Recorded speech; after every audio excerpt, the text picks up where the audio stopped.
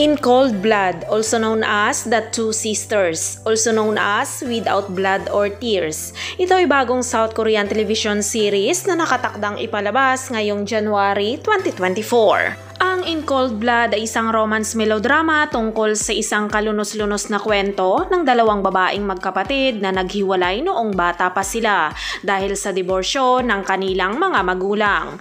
Makalipas ang dalawampung taon, nagkita silang muli at humantong sa isang tunggalian at masamang relasyon.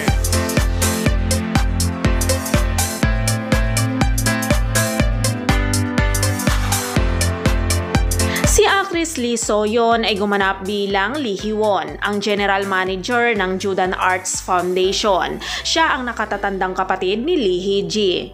Noong bata pa si Lee Hee-won, tumira siya sa kanyang ama. Ngayon bilang isang may sapat na gulang, mukhang perpekto si Hee-won. Ngunit nagdadala siya ng mga sugat emosyonal. Ang kanyang buhay ay pinangungunahan ng kanyang madrasta. Ang fiancé niya ay si Yeon Ji Chang at malapit na silang ikasal. Si Yeon Ji Chang ay anak ni Yon Lee Chol na nagmamayari ng JY Group. Samantala, si actress Ha Yun-jo ay gumanap naman bilang Lee Hee-ji at Bae Do-yeon. Siya ang nakababatang kapatid ni Lee Hee-won. Pagkatapos ng hiwalayan ng kanyang mga magulang ay nahiwalay si Hee-jae sa kanyang nakatatandang kapatid at tumira siya sa kanyang ina.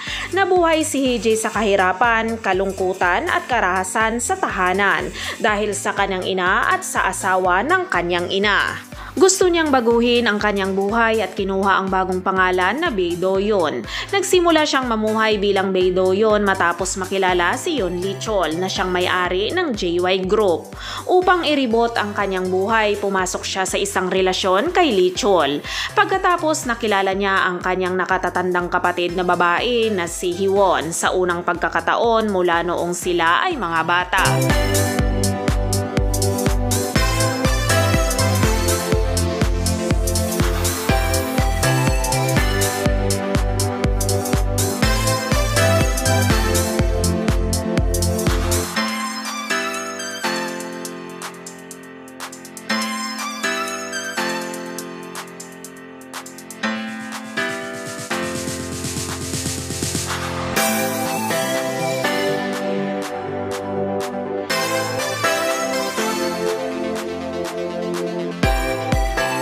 Cold Blood ay binubuo ito ng 103 episodes at nakatakdang ipalabas ang unang episode sa January 22, 2024 sa KBS2 Network at ipapalabas ito sa araw ng lunes hanggang biyernes.